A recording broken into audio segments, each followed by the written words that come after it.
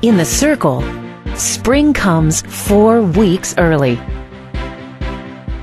Catch Orchid Mania, February 27th through March 28th at Cleveland Botanical Garden.